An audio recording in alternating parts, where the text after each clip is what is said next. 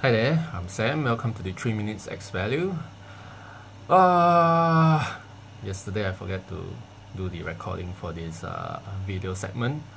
So the chain break, ah, but it's okay because uh, in this give me a topic to cover today, tracking.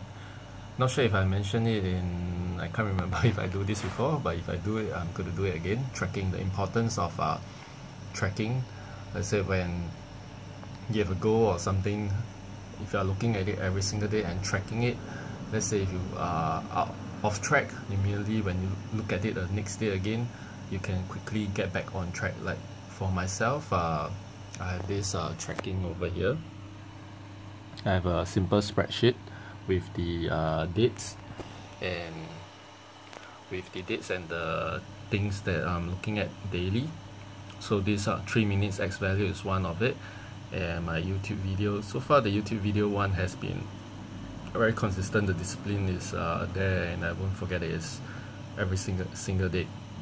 So this uh, tracking actually helped me to, to track on the progress and also serve as a reminder uh, let's say in case like for for example yesterday I forget about the 3 minutes X value uh, video so today I'm going to uh, do two to make up for it.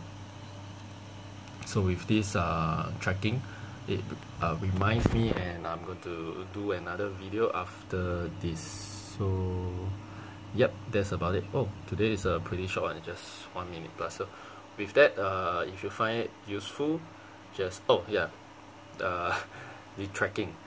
You don't need to be very fancy just a very simple one. Just do a excel spreadsheet open up then do the dates every day.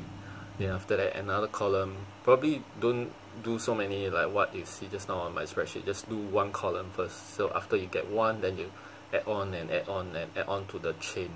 Like I mentioned the previous video the anchor. So you can add on the anchors. So start with one first. So this 3 minutes X value is a new thing that I actually added. You see you can see it's actually at the last. So uh, sometimes I miss it. I think this is the second time I missed the chain. So after that uh, once I look at the Excel spreadsheet again the next day I know okay I miss it. And immediately I I can do some something about it. So tracking is very important. Uh, yeah with that thank you for watching. If you find this uh, content useful do share with uh, your friends. Then do like and subscribe to our the channel. And I'll see you at the next video VSNGS